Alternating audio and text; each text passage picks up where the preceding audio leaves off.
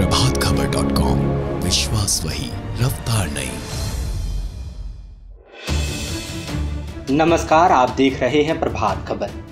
झारखंड में कोरोना की रफ्तार थमने का नाम नहीं ले रही है। बीते 24 घंटे में 872 नए मामले सामने आए हैं। बीते 24 घंटे में 13 लोगों की मौत हो गई। इसके साथ ही कोरोना से मरने वालों की संख्या 310 हो गई है। हालात ये हैं कि राज्य की बड़ी हस्तियाँ भी कोरोना की चपेट में आती जा रही हैं। स्वास्थ्य मंत्री बन्ना गुप्ता कोरोना पॉजिटिव पाए गए हैं। शुक्रवार शाम को पूर्व सीएम शिबू सोरेन और उनकी पत्नी कोरोना पॉजिटिव पाए गए। अब कृषि मंत्री बादल पत्रलेख भी कोरोना पॉजिटिव पाए गए हैं। इससे पहले पेयजल और स्वच्छता मंत्री मिथिलेश ठाकुर भी कोरोना पॉजिटिव पाए गए थे। राज्य में अब कोरोना संक्रमितों की संख्या उनतीस हो गई है।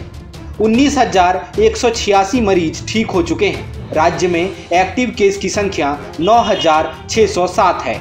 शनिवार को रांची में 117 मामलों में से 48 मामले रिम्स से सामने आए हैं। संक्रमितों में रिम्स के डॉक्टर और कर्मचारी भी शामिल हैं। रांची नगर निगम की लॉ शाखा में शनिवार को एक कर्मी कोरोना पॉजिटिव पाए गए हैं। नगर निगम के 20 से अधिक कर्मचारी कोरोना पॉजिटिव पाए गए हैं। राज्यपाल ने राजभवन में तैनात सभी सुरक्षा कर्मियों की कोरोना जाँच का आदेश दिया था। इसके बाद सदर अस्पताल रांची के सहयोग से राजभवन में तैनात सभी सुरक्षा कर्मियों की कोरोना जाँच हुई। पिछले 24 घंटे में पूर्वी सिंहभूम में कोरोना संक्रमण से सात लोगों की मौत हुई है, जबकि हजारीबाग और रांची में दो दो मौत हुई है। वहीं कोडरमा और बोकारो में एक एक कोरोना संक्रमित की जान गई है। राज्य में कोरोना की जाँच बढ़ाने का लक्ष्य तय किया गया है। संक्रमितों की पहचान के लिए 16 जिलों में स्पेशल ड्राइव शुरू किया गया है। अभियान 5 सितंबर तक चलेगा। उन जिलों में ज़्यादा फोकस रहेगा, जहाँ संक्रमितों और जाँच की संख्या कम है। 16 जिलों में प्रतिदिन 14,124 लोगों की जाँच का लक्ष्य निर्धारित किया गया है।